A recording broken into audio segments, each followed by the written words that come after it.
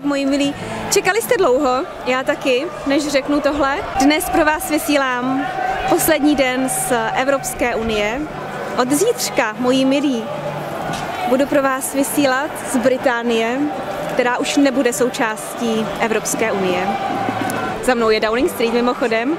Premiér tam zrovna eh, hostí eh, recepci uspořádanou na počest našeho posledního dne v Evropské unii. Našeho, protože jsem zrovna na ostrově. Tak jo, uh, tahle budova uh, samozřejmě vidíte mění barvy, uh, má britské barvy, takže asi takto, vidíte, žádné hvězdičky.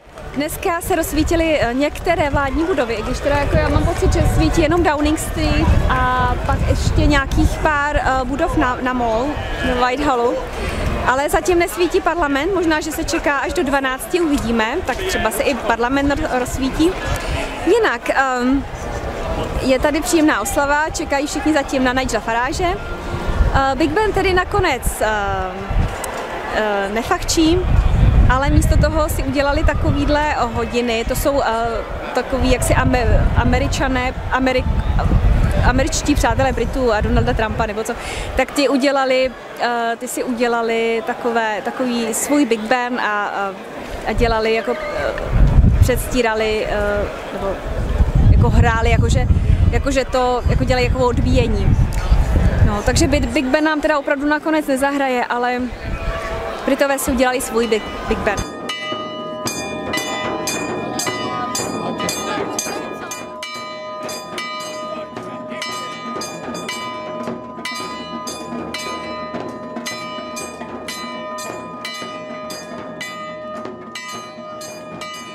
Jinak, jak jsem říkala trošku, myslím už, tak eh, jsou tady brexitáři, frexitáři, dokonce z Irska tu jsou.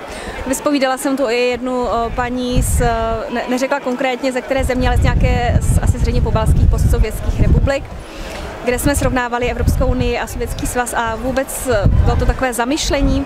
No a další, no, takže já myslím, že moji milí, že to byl, jako je to krásný večer a já si to užívám, je to úžasný, je to prostě, jsou tady davy lidí, ale většinou jsou to prostě hlavně brexitáři a už je dobojováno, už se slaví a už jsou všichni hrozně fajn náladě, už nikdo není naštvaný, že se nám hroutí demokracie, že se nerespektuje vůle lidu, ale prostě jsem tam, teda viděla jsem tuhle nějaký lidičky s eurovlajkou, ale teď večer už ne, dopoledne ještě byly, ale teď už ne, takže máme tady prostě Máme tu poslední hodiny.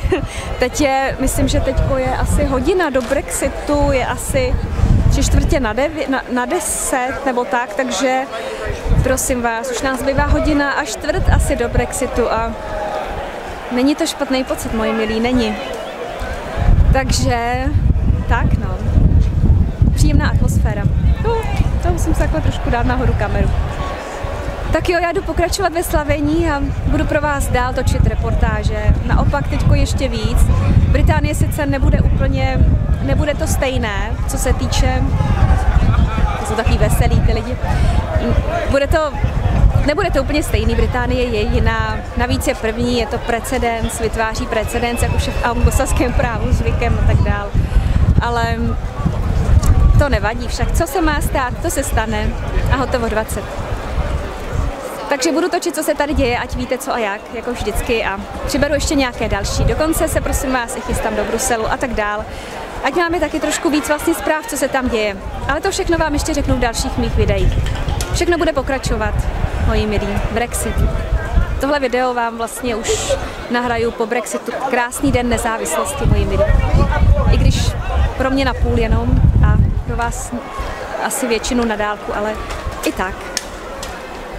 Mimochodem dneska je tady krásná atmosféra, strašně přátelská. Všichni mě ujišťují, um, že prostě nás mají všechny Evropě rádi. Říkají mi, že jsem z Čechoslovakie, ale mě to nevadí. A vlastně najednou, najednou cítíte, že strašně prostě vlastně chtějí spolupracovat, chtějí zůstat s těma Evropanama, jenom prostě jim strašně vadí ten pitomý Brusel, když to takhle řeknu. A tak to prostě je, no. A já myslím, že to cítíme všichni. Všichni chceme spolupracovat. Spolupráce mezi národy, všechno, to je důležitý. Ale nepotřebujeme žádnou byrokracii k tomu. Máme každý stát, náš, má spoustu svých byrokracie, který, kterou potřebujeme oškubat trochu. a státní zakázky, si vzít trochu pro, po drobnohled a tak dál. A co my potřebujeme ještě další ve Bruselu. Tak jo, mějte se hezky, moji milí. Krásný den. Janina z Londýna, ze svobodného Londýna.